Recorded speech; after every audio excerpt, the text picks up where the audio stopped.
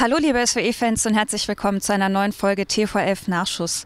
Wir begrüßen euch am Samstag aus Pirmasens. Hier im Framersstadion auf der Husterhöhe ist unsere Elf am 29. Spieltag dieser Regionalliga-Saison angetreten. Ja, die erste Halbzeit war noch ein bisschen zäh. Die zweite wurde dann dem Wetter entsprechend etwas stürmiger und auch positiver. Und am Ende gelingt unserer Elf damit dann auch ein 2 zu 0 Erfolg. Jill Hust hat sich nach dem Spiel mit Trainer Horst Steffen und den beiden Torschützen Lukas Schnellbacher und Eros Dazai unterhalten. Viel Spaß. Ja, Schnelli, 2 zu 0 beim FK Pirmasens. War das heute ein Sieg der Kategorie verdienter Arbeitssieg? Ja, anhand der zweiten Hälfte schon. Erste Halbzeit war, haben wir ein bisschen äh, schlampig gespielt gehabt, aber auch zweite Halbzeit äh, zum Reinkommen war es ein äh, bisschen schwierig, aber dann äh, haben wir uns reingearbeitet mit dem Eros, super Freistoßtor, ist natürlich so ein Dosenöffner und dann äh, lässt sich natürlich einfacher spielen, ja. Du hast die erste Halbzeit ja von außen beobachten können. Der Trainer und die Mannschaft hat nicht unbedingt zufrieden gewirkt. Was ist da konkret schiefgelaufen? Was hast du von außen beobachten können? Ja, ich denke, ähm, wir haben wenig äh, in die Tiefe gespielt, eher äh, Kombinationsfußball und es war halt auf dem Platz sehr schwierig, der ein bisschen holprig war. Und ähm, ja, dann ist es schwierig, äh, in die Tiefe nach vorne zu kommen, gefährlich vors Tor zu kommen und sich vielleicht über Torchancen dann das gewisse Etwas zu holen. Ja. Eros dann mit dem Dosenöffner, du hast es gesagt, du mit dem Sonntagsvolley, muss man fast sagen. Was war denn das für eine Bude? Ja, ähm, es war ein Eckball und äh, der Ball ist eigentlich in die falsche Richtung gegangen, äh, vom Tor weg. Und ich bin rückwärts gelaufen, habe ihn dann äh, Volley genommen. Ist natürlich schön, dass er reingegangen ist. Äh, war auch für meinen Bruder, der heute 18 geworden ist, äh, natürlich schön. Und äh, ja.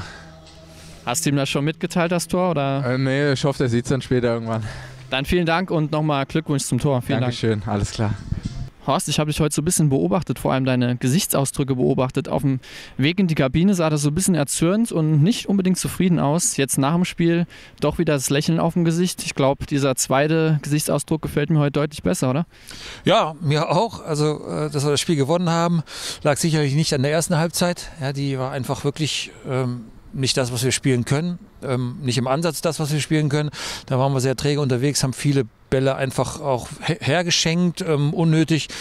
Und äh, ja, dementsprechend gab es in der Halbzeit auch mal eine Ansprache, die die Jungs ein bisschen wachrütteln sollte. Und äh, das hat sie dann auch gezeigt in der zweiten Halbzeit. Wir haben natürlich ein schönes Freistoßtor von Eros gesehen, was uns dann noch, noch mal ein bisschen Mumm gegeben hat, ähm, noch mehr ins Spiel wieder zu kommen. Ähm, ja, und dann bin ich natürlich ganz froh, wenn Schnelli noch so einen reinhaut, äh, mit einem 2-0-Sieg hier nach Hause zu fahren. Nachdem Pirmasens zuletzt recht erfolgreich war, bin ich doch ganz glücklich drum. Ähm, wir wollen immer drei Punkte holen und wenn das gelingt, dann äh, habe ich meistens ein Lächeln auf den Lippen. Man sagt ja immer so schön, woran hat es gelegen? Woran hat es denn konkret in der ersten Halbzeit gelegen? Ja, das ist äh, für mich schwierig einzuschätzen, weil wir normalerweise immer äh, eine gute Handlungsschnelligkeit haben. Heute war das nicht der Fall zu Beginn, ja, dass wir immer das Gefühl, oder ich immer das Gefühl hatte, wir kommen ein Schrittchen zu spät. Also das heißt, auch gedanklich haben wir schon äh, eine Sekunde gebraucht, um, um äh, unsere Meter zu machen und ähm, eine Erklärung kann ich da nicht für finden gut, wir haben äh, Gott sei Dank die Null gehalten und ähm, dann in der Halbzeit eben auch entsprechende Maßnahmen ergriffen, dass es besser wurde. Und äh, darüber freue ich mich, aber wir dürfen uns nicht nochmal so eine Halbzeit erlauben. Wir wollen nicht unbedingt ins Detail gehen, aber wie kann man sich so eine Halbzeitansprache dann von dir vorstellen? Ja, es war schon ähm, laut äh, und, und auch emotional, weil ich einfach sage, so können wir es nicht machen. Ne? Und da musste ein Ruck durch die Mannschaft gehen. Die mussten schon angekratzt sein in der Halbzeit, dass sie merken, hey, der Trainer ist echt total sauer. Äh, wir müssen uns straffen, wir müssen jetzt mehr investieren. Und ich glaube, das hat äh, gefruchtet. Ich glaube auch, dass jeder das Gefühl hatte, so richtig geil spielen wir heute nicht. Und ähm, dementsprechend auch die Erwartung wahrscheinlich da ist, ey, jetzt muss was passieren. Ja, und dementsprechend ist was passiert. Und äh, gut, meine Stimme war ein bisschen lauter. Und dann zum Schluss gab es noch ein, zwei konkrete Hinweise. Äh, so läuft dann mal eine Ansprache ab, wo ich das Gefühl hatte, in der ersten Halbzeit läuft nicht viel. Du hast ja einen kämpferischen Gegner mit Pirmasens erwartet. Waren sie auch so im Spiel? Wie hast du sie erlebt? Ja, sie haben uns nicht in Ruhe gelassen, muss man ganz klar sagen. Sie haben uns bis zum Schluss nicht in Ruhe gelassen und dementsprechend haben wir ganz wenig Möglichkeiten, richtig zu kombinieren. Haben aber dann auch ähm, gerade zweite Halbzeit unsere Kontersituation dann auch noch ähm, ein Stück weit verschenkt, wo wir Pässe hätten finden können. Ähm, das war ähm, zu bemängeln ich bin jetzt erstmal froh, dass wir ein äh, nicht so gutes Spiel 2-0 gewonnen haben. Das äh, haben wir auch nicht oft. Wir haben schon richtig geile Spiele geliefert und nicht gewonnen. Insofern nehme ich das heute auch mal so hin. Jetzt haben wir wieder eine Woche Zeit, dann geht es auswärts nach Koblenz. Kleiner Ausblick deinerseits? Ja, Koblenz finde ich ganz gut. Gerade. Ich habe sie schon ein paar Mal gesehen, sind gute Spieler ähm, im Winter noch dazugekommen, ähm, sind sehr stabil, ist kein Vergleich mehr ähm, zum Hinspiel und kein Vergleich auch zur, zur letzten Saison. Also da wartet schon ein richtig guter Gegner auf uns und trotzdem dürfen wir unsere Auswärtsserie einfach auch fortsetzen.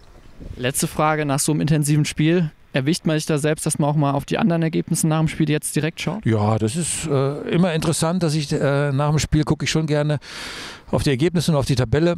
Und wenn wir ein paar Punkte gut machen können, ist das immer gut. Und deshalb ähm, ist ja klar, dass die Tabelle für uns auch extrem wichtig ist. Und ähm, solange wir spielen, bin ich sehr fokussiert auf das, was wir da machen. Vielen Dank. Gerne. Ja, er hat es schon wieder getan. Eros Darzeit trifft hier mit einem wunderschönen, sehenswerten Freistoßtreffer zum zwischenzeitlichen 1 zu 0 für die SVE im Auswärtsspiel beim FK Pirmasens. Ja, dein Kollege Schnelli hat gesagt, das war heute sozusagen der Dosenöffner. War das für dich auch der Dosenöffner? Ja, ich denke, das kann man so bezeichnen. Ähm, es war ein schwieriges Spiel, ein hartes Stück Arbeit, wie gesagt. Ähm, in der ersten Halbzeit haben wir versucht, nach vorne zu spielen.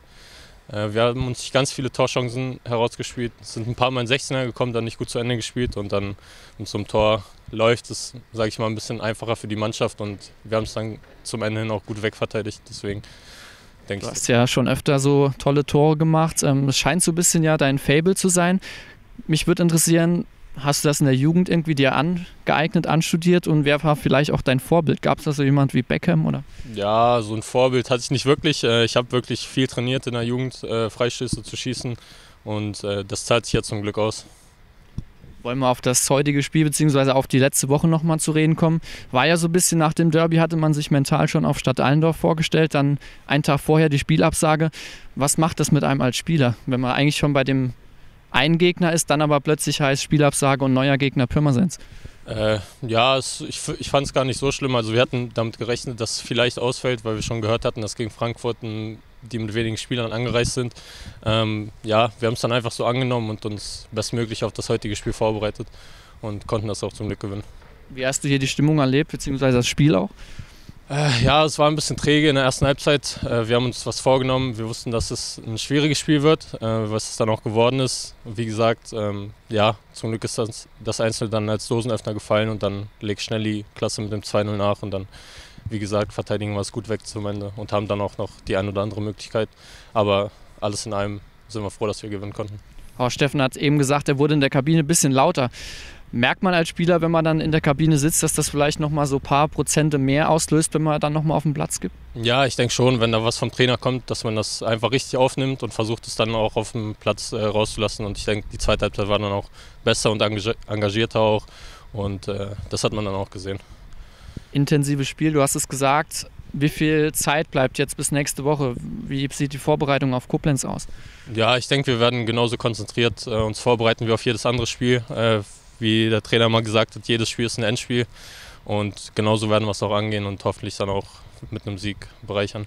Glückwunsch nochmal zum Treffer und genieß ihn später im Fernsehen. Vielen Dank. Ich danke dir. Danke.